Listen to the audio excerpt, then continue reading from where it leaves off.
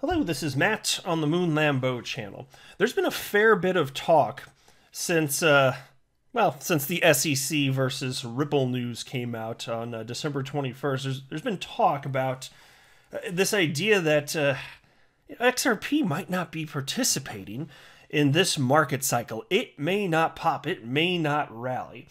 And uh, it, I'm not convinced of that, and I'll explain why. But even if you are convinced of that, I want to share with you that uh, this idea that there might be more time in this market cycle than many analysts were expecting there to be. You know, a lot of analysts have been saying, and some still stand by this, that there's only another 9 to 12 months left within this market cycle, which makes it less likely that XRP would have an opportunity to burst. And so, even if you buy that argument that it will not burst without SEC clarity, might still be in the clear here. And so there's this headline from the Daily Hodl.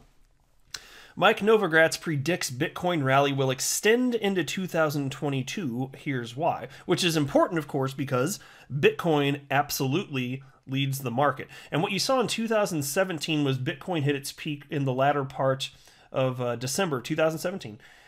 And it, XRP actually did hit its all time high after that. It was uh, its all-time high came on January 4th. But still, you know, even if there's there can be a little bit of gap between when Bitcoin hits its XR uh, hits its all-time high and then XRP hits its all-time high this market cycle, uh, you know, it's, it's it's still this idea persists that if there's a longer time period, you know, to uh, for this market cycle, it could bode well for XRP, and there's a case to be made for that too. Like, I mean, I'd prefer when X, whenever XRP does finally burst, I'd prefer that there be legal clarity because then there's no question as to okay, is everybody participating that uh, that would have, uh, regardless of this the situation with this uncertainty from a regulatory perspective. So there is that. Um, I do want to be clear that I don't have a financial background of any kind. I am not offering financial advice, and you should not buy or sell anything because of anything that I say or write. I'm just an enthusiast. I'm an XRP holder, nothing special about me. I like talking about this stuff as an enthusiast, and I run this YouTube channel purely as a hobby. That is all that it is. But I very much appreciate all of the support. So, uh, into this first piece. The CEO of the crypto management firm Galaxy Digital says Bitcoin's bull market is far from over. In an interview on the Alpha Trader podcast, Mike Novogratz says Bitcoin is poised to go higher in the next 22 months as big banks hop on the uh, the Bitcoin bandwagon. And check out this quote. We've kind of passed the Rubicon. If you will, we're over the hill. The network effect of this is really taking off. What I'm really convinced of is we're still really early on the adoption cycle for big institutions. You haven't seen the big banks come out with their offerings yet. Let me tell you, with certainty, they are coming. I will be really surprised if Bitcoin is not higher this year and higher the year after. And so, uh, let me let me say this first. You know, as far as this idea of XRP not participating in this market cycle, not having some sort of parabolic rally, uh, I, I simply don't buy it. I understand how pe- why people started thinking that it wouldn't or won't participate because you saw the massive crash um, after the SEC came out after uh, against uh, Ripple uh, and you know these claims of XRP being an investment contract, an unregistered security. But what did you see after that? After everybody that was scared and got out, uh, that wanted to get out, did end up getting out. What what happened? XRP resumed uh, moving in tandem with the market. And, and I pointed that on a ton of different occasions visually, so that if you're a human with eyeballs, you can actually see it. I pointed out whenever it's abundantly clear, which is fairly frequently. And in addition to that, you've actually seen according to many chart analysts, and I think it is playing out that XRP is actually in a um, in a, a, uh, a bullish technical analysis pattern, right? And, and, so we have seen again as, as I record this. I, well, I didn't check right before recording this video, but what's it been around? Hovering around forty cents above that, at times a little bit below that. Well, that's a lot higher than 17 cents, which is what it dropped to after the scary news of the SEC going out against Ripple. And so uh, the way that I'm looking at it is, and you could say, okay, so even if it runs, it's still it's still not going to have a rally in line with what it could have been. You know, uh, had the SEC not been going after Ripple, but I don't really buy that personally. I, I, don't think that's the case. Maybe there'll be some people that won't touch it no matter what.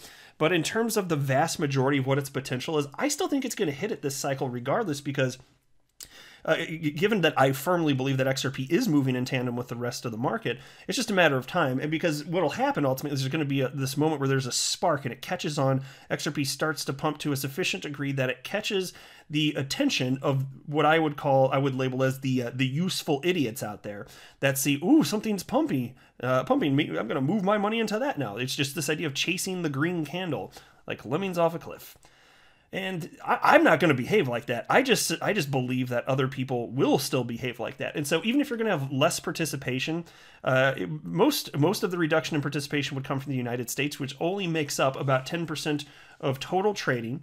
And, and not all of that 10% has stopped participating. I'm in the United States. I'm participating. I'm holding XRP. And so, you know, there are exchanges that still are allowing, uh, uh, you know, they are on ramps and off ramps, you know, for fiat currency. So I, I still think it's going to happen because when XRP ran up to almost $4 last market cycle, mind you, it was people throughout the rest of the world that made that happen. And so then you're talking about all of these big banks uh, potentially coming in and institutional money, publicly traded companies. You know, this has been an institutionally driven uh, market cycle to this point, and we're not seeing that slow down. You know, and so that's why it doesn't seem bonkers to me that uh, that this could go on longer than what many analysts were thinking. Because if the institutions keep putting money in, that's effectively them saying, "No, we're not done here." Because what's going to happen? Well, that's going to affect supply and demand. And then, even if they're purchasing over the counter, so you don't see those market impacts immediately, the rest of the useful idiots out there trading on spot exchanges have less crypto to fight over. And that's what drives the prices up. It's not the direct purchase by these mega institutions that immediately drives the price up. It really isn't. Um, indirectly, that's exactly why. But it's the useful idiots having less to fight over that makes them bid up the prices for Bitcoin even higher. And if Bitcoin goes even higher, the rest of the market goes even higher. And you could potentially have a prolonged market cycle. And so that's kind of what we're talking about here. And so the piece continues. As Bitcoin continues on its extended run, the Galaxy Digital Executive highlights key factors driving the growth of the leading crypto asset. And here's a quote again. COVID changed everything with the macro backdrop of hard assets. And Bitcoin is so well developed, created to be a hard asset that the adoption curve accelerated. Uh, Paul Tudor Jones looked at it and said, wow, this really does work as a hard asset. It's the single largest distributed asset ever outside of the dollar, and so you've got this community building that's uh, that's going on telling the story of why it's important. And so, to me, all of that makes sense. And so uh, we'll, we'll see what the charts keep keep hinting at. But I'm telling you, like the I think the charts will show what uh, what Novogratz is expecting here. If indeed you continue to see an increase in institutions coming in and snatching up the little bit of Bitcoin that's remaining, and then that's going to trickle down to the rest of the market. And I highlighted this. Uh, this is a piece from the Daily Hodl from January 28th and it's in it's in line with the same type of thinking. I just wanted to mention. I don't want to go through the whole thing because I already did like a week ago, but the headline is is this: Binance CEO says he expects this Bitcoin bull cycle to last for years. Uh, here's why. And he goes on to cite that uh, I think, here's a quote I think 2021, 2022, 2023, uh, it's going to take two to three years, maybe four years for this sort of cycle to hit the peak. I kind of predict that we are just in the flat part of the wave. The big wave hasn't come in yet. And so he, he he seems to be in lockstep in terms of thinking, yeah, this is going to go a lot higher before we see any sort of corrective action. And indeed, big money, it's coming in, but there's most of the big money, the vast majority of it, still on the sidelines. And that's exciting because I think a ton of it will flow in. So it's kind of a question of is it going to flow in this market cycle or uh, during a bear market or a subsequent cycle? When is a ton of it? Gonna really start flowing in because if it is this market cycle, I think there's a case to be made that you, you could be looking at a, a, bull market for multiple years. And so I don't know if that'll be the case, but it, it seems like a plausible position. Take a look at this headline from the Daily Hodl. Billionaire Elon Musk exploring Bitcoin adoption for corporate treasuries, says On-Chain Capital co-founder. Well, how about that? Who isn't going to be at least, you know, just at a minimum, looking into this? Ran Neuner, co founder of blockchain fund management firm OnChain Capital, says Tesla CEO Elon Musk is exploring the possibility of adding Bitcoin to his corporate treasuries. In a new tweet, the former host of CNBC's Crypto Traders tells his 124,000 followers that some of the executives attending the World.now event were sent there by billionaire Elon Musk. And here's a quote I can confirm that Elon Musk had at least three people at the Michael Saylor event, uh, including two from the Treasury. And then the piece continues. On February 3rd to February 4th, MicroStrategy hosted the World Now event, during which Michael Saylor and other Bitcoin bulls invited corporate executives to learn about the benefits of adopting Bitcoin for their corporate portfolios. On chain analyst and trader Willy Woo asserts that Bitcoin supplies are already drying up after Saylor preached Bitcoin's advantages to the corporate community, calling the event a success. And here's another quote Looks like Michael Saylor is bringing Hope.com to the corporate community. Impacts are being seen already. Coins once again being scooped off exchanges and and it was uh, he, as stated by Michael Saylor, is effectively an unprecedented event in in just the pure number of individuals that signed up. I could be mistaken, so I apologize if so, but I think there were like 1,400 executives or something like that that signed up. Many of them being CEOs. And again, this is about purchasing Bitcoin as a as a corporate treasury reserve asset. You know, 1,400. That sounds. Can you imagine in 2015 anything like that happening? Not a freaking chance. This is the maturation of the asset class. And so all of this, if they decide to start looking into this, you know, it could take them any, you know, six, nine, 12 months to, if they're even going to do it, to look into it, get approval, go through, because they got to go through, if it's a publicly traded company, undoubtedly a board of directors, uh, everybody in all, all sorts of different departments, from accounting to legal. Uh, you can just imagine the whole rigmarole that it would be.